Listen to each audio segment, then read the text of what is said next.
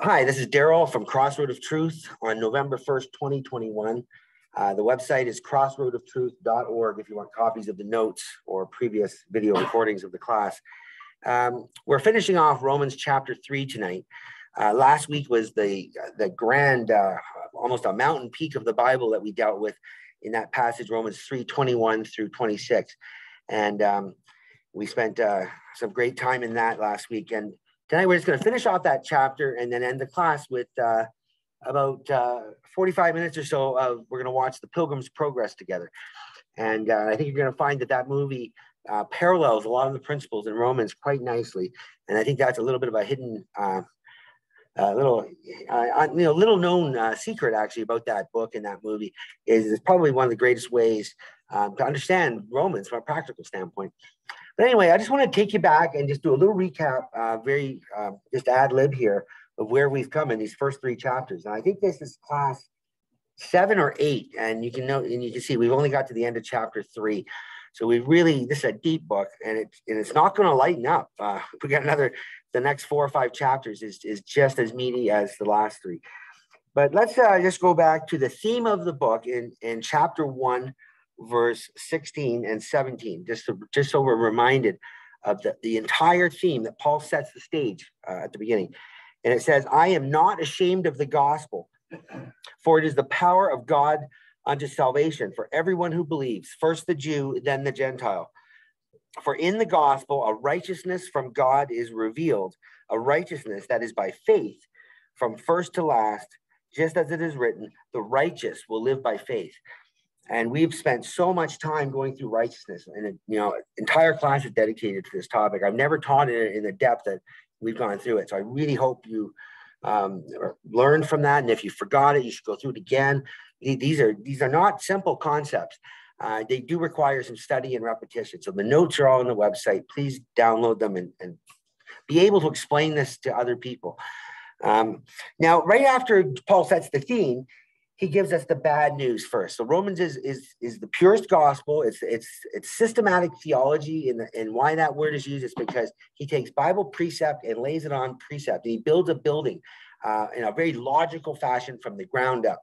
And of course, he has to start like any good preacher of the gospel would with why we need the gospel, and that is because we are sinners. So he has to define how how much of a sinner we are and, and bring us to a recognition and conviction uh, and an understanding of how important uh, sin is and, and our and our need to get get rid of this sin. Get we, we got this burden on our back as the movie's going to show, and it's it's all the sin accumulated in our life. And uh, man's greatest need is to get rid of that burden because the only way to achieve life in the eternal is to have our sin forgiven. This is the message of the Bible. Now, right, so he starts off in verse in chapter 1, verse 18, describing the wrath of God. And it says, For the wrath of God is revealed from heaven against all ungodliness and unrighteousness of men who hold the truth in unrighteousness. But these men suppress the truth. So that's what, so that's the that's the theme of that chapter is the wrath of God and how it's revealed, why it's revealed, and in how it manifests itself in terms of uh, this progression of the, the, depravity of man is just uh, uh, revealed to us. And then to chapter two, we talk about judgment, God's principles of judgment, and how all the world is guilty before God Jew, Gentile, immoral. Um, it doesn't matter. Um, we're all guilty and, and therefore condemned under the condemnation of God. And just to, to skip forward in, in, chapter 8, verse 1, everyone should know this verse. Paul starts off, verse off, says, um, and now there is no condemnation to those who are in Christ Jesus. What a glorious statement to that great chapter, which we're going to get to soon. But you can see he's, you know, there's a bookends there, right? There's we're under condemnation. We we need a solution. In chapter three, we get the solution, and in chapter eight, Paul recaps it all, saying we're there's there's no condemnation. We, we are legally declared righteous um, by God in the courtyards of heaven when we accept Jesus Christ as our Lord and Savior. Um, so uh, in chapter three, a couple of key verses that we, we already talked about, just to remind you. Um, so the whole section from, from chapter one, verse 18 to chapter three uh, ends in verse uh, 19 uh, and 20. Uh, basically, where it says, uh, on. Actually, I'll just read Romans 3.23. This is probably where it is. For all have sinned and come short of the glory of God. So when he says that, so they basically declares, there's my verdict. There's the final verdict of God. Everyone has sinned. There's none righteous, no, not one. Uh, there's no one that can escape the wrath of God and the judgment of God, except, but then we go on. Um, but now in verse 21, the righteousness of God without the law is manifested, being witnessed by the law and the prophets, even the righteousness of God, which is by faith of, of Jesus Christ unto all upon that believe, for there is no difference. I'm just going to read this passage again. Being justified freely by his grace through the redemption that is in Christ Jesus, whom God set forth to be a propitiation through faith in his blood to declare the righteousness for the remission of sins. Um, so there we see, we last week we explained uh, what all that whole passage meant.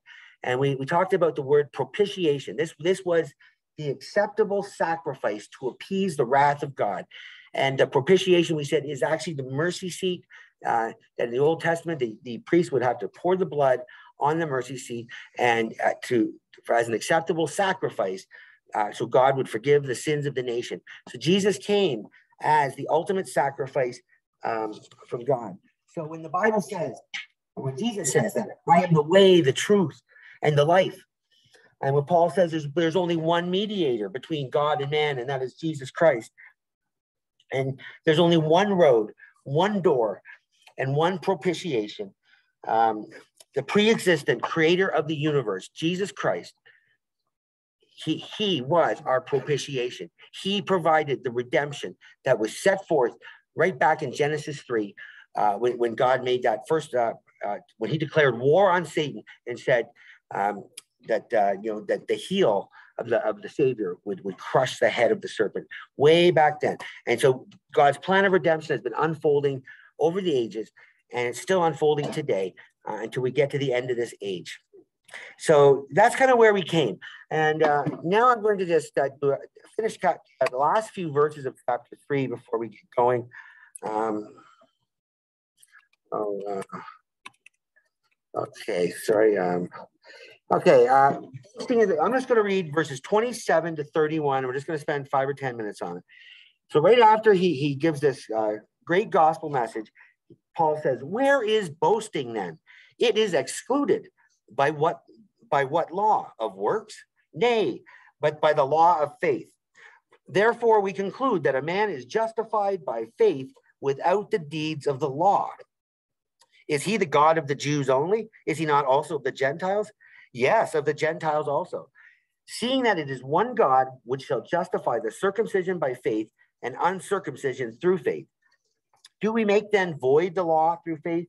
God forbid. Yea, we establish the law. Okay, so um, this first topic uh, that we deal with in verse 27 is boasting is excluded.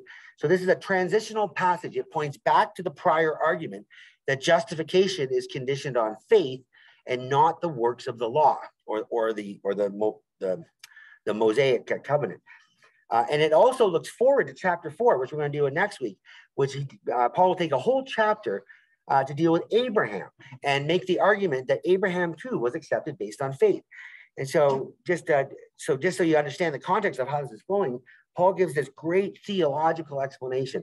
Uh, really, it's the definitive text of the whole Bible in terms of what uh, what the what salvation really means in, in chapter three. But then that's not enough for him.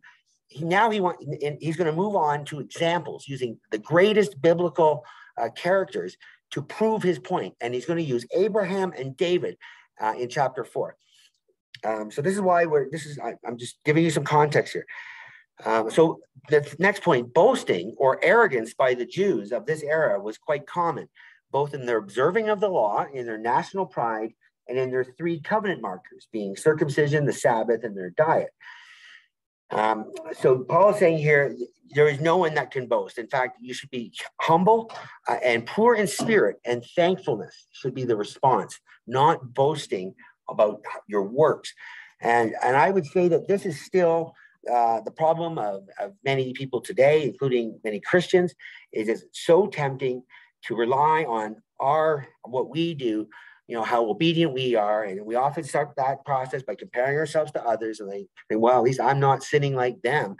Uh, but anyway, we have nothing to boast about.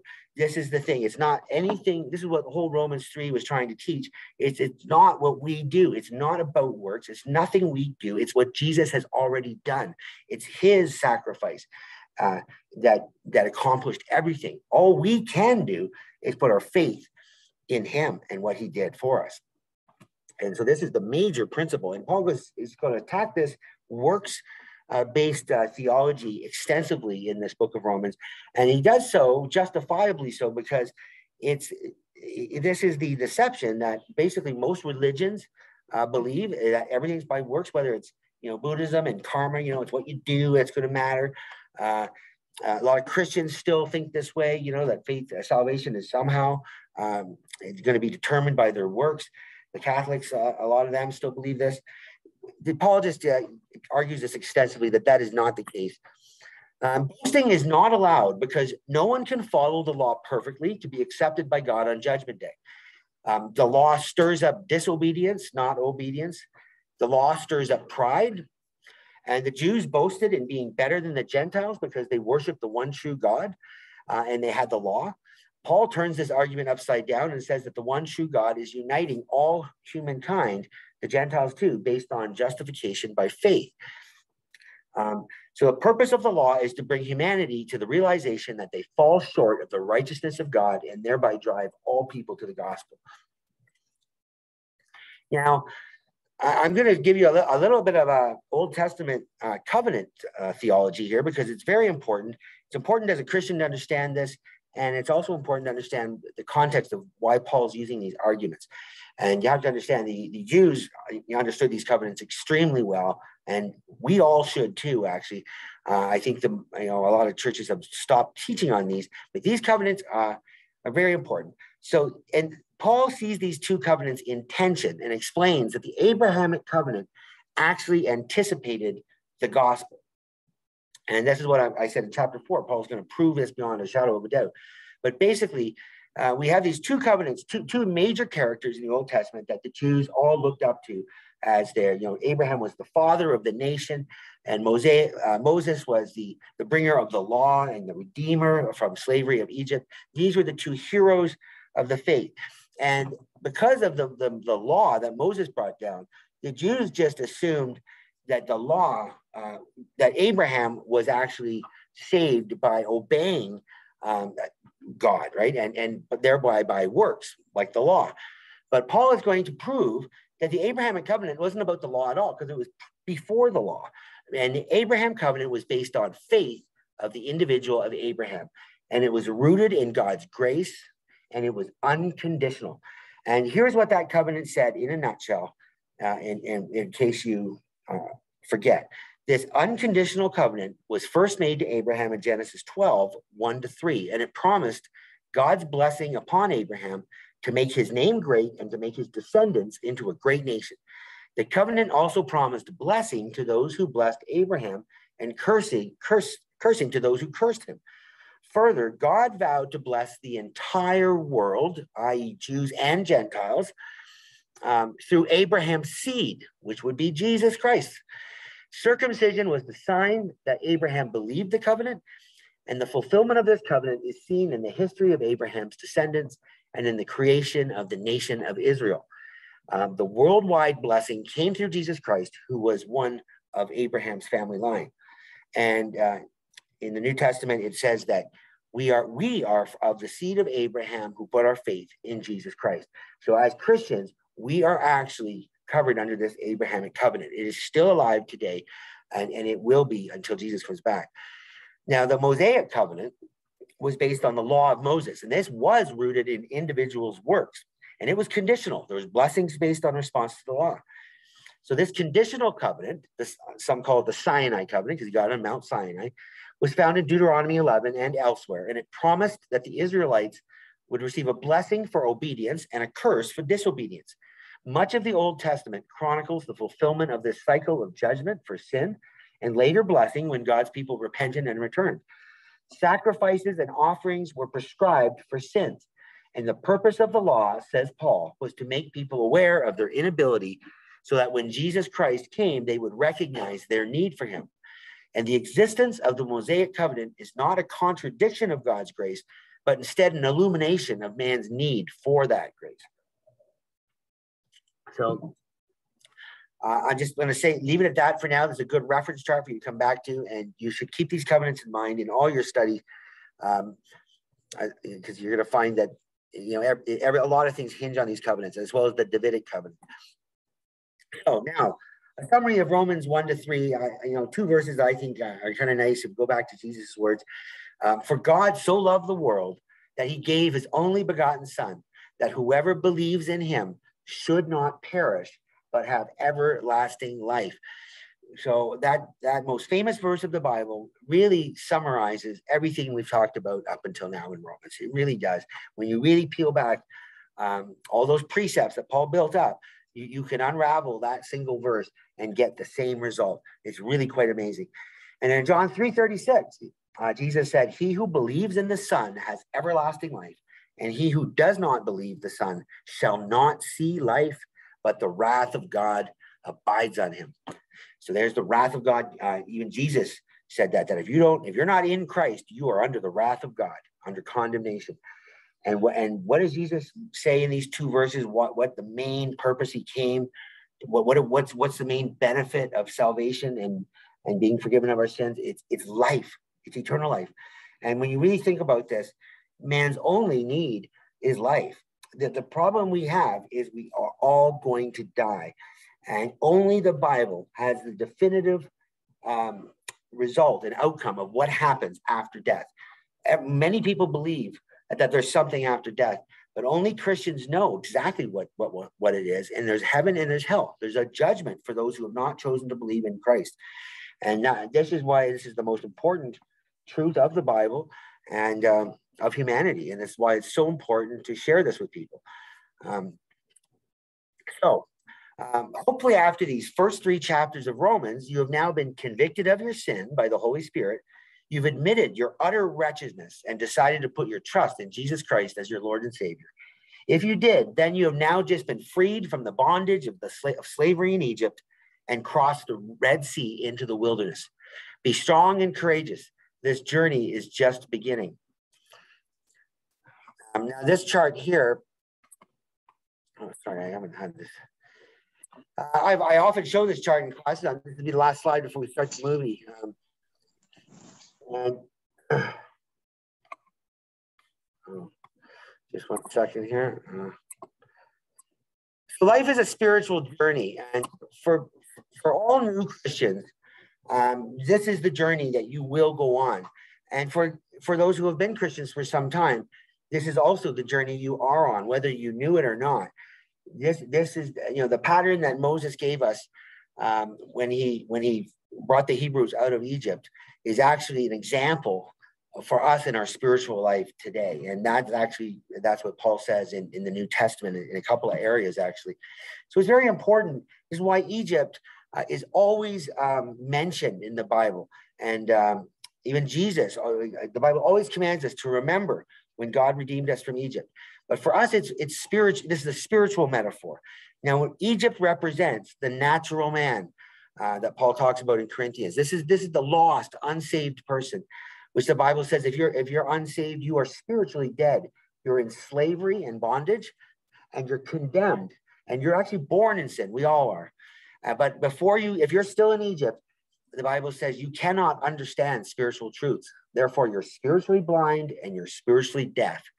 And um, so this is where most of the world lives right now, and and they don't even realize it. Um, now, when when Moses took the the Israelites or the Hebrews out of Egypt, uh, that was uh, that was he, he was re, he was he redeemed them from the slavery, physical slavery, and and those who are taking mark with us, have, have seen already I, uh, that Jesus has come in his first coming to redeem us from spiritual Egypt, uh, to redeem us from sin. So what, and then once we get out of Egypt, we just like Jesus will be will be propelled into the wilderness for a time of testing and trials and temptations. This is the journey, and, and you cannot escape this. Um, so what, what happens when we're in the wilderness? We're saved. We've crossed the Red Sea. We're saved by faith in Jesus, but we're defeated by sin. This is the, this is typically the backsliding Christian, wandering, victory sometimes, but also defeat. Sin is always at the problem, and uh, and and the sin of the uh, Israelites in the wilderness was was primarily murmuring, which means complaining, not being thankful for God's blessings, uh, unbelief, and disobedience, just downright disobedience. When God told them, gave them the commandments, the first commandment was uh, to worship no other gods before me and no carved images. And what did they do, they made the they they made the uh, the golden calf almost immediately, right? They they broke the sin of the law as soon as they they got it. Uh, um, but then finally, Joshua was able to take them over to the promised land. And this is where victory was achieved when they crossed the Jordan River. And spiritually speaking, this is Romans 8. The wilderness is really Romans 7. When we get to that, you're going to see there's this, there's this Christian journey that Paul takes and just and takes us on his journey. And he takes us through this terrible Romans 7, this valley of spiritual war and defeat and sin getting him at every turn. And he and he cries it at the end, Oh, wretched man that I am, who can save me from this body of sin? And this was when Paul was saved, he was having these kind of battles. But in Romans 8, he reveals the secret to the spirit-filled life. And uh, and that's really what we call the, the spiritual promised land, where we're living a victorious life filled with the Holy Spirit. Um, we're sanctified, what the Bible calls, and this is really about being right in the heart more than it is the head. Um, it's uh, it's the outliving of the indwelling Christ. And the little principle I put on here is you just do the trusting and let God do the fighting. Keep your eyes on Jesus, just like Peter did on the boat. That's the key. Faith, faith is about the object we have our faith in, and the object is always Jesus Christ and His Word and what He did for us on that cross. If we keep our eyes on Jesus, um, we we will rise above the waves. And these four little requirements uh, we'll come back to in Romans 8, but uh, in, a, in a little cheat sheet fashion, uh, if you want to be filled with the Holy Spirit and receive and receive power over sin and power in your Christian service, uh, keep be right with God. Confession and renunciation. The first John 1 9. Do it every day or whenever you need to. Confess your sins, and He's faithful and just to forgive you. As soon as you do that, uh, Jesus says you he'll wash your feet and cleanse you of all unrighteousness and, and bring you into fellowship again with God. And the Holy Spirit will not be grieved, but come back alive in your heart. Um, obedience and dedication. Um, so that examples of that might be to, to do your Bible studies, uh, pray regularly, and, and make sure there's no unforgiveness in your heart. Um, surrender. And surrender in a practical sense means surrender your time, your money, yourself as Jesus would say, deny yourself. And, uh, and of course, faith uh, is, uh, is trusting in Jesus like a child. Um, and as don't fear, just believe. So this is a great little uh, cheat sheet for the spiritual journey. And now we're going to go to the movie and we're going to watch how uh, John Bunyan had great uh, anointed insight on this journey and how he interpreted the Bible in such a perfect way to write uh, the best selling Christian book next to the Bible in the history of the world, The Pilgrim's Progress. And uh, this is on the website under Bible movies for those who um, are, are not going to be able to follow along. I am going to stop the recording now because I don't want this to be censored off of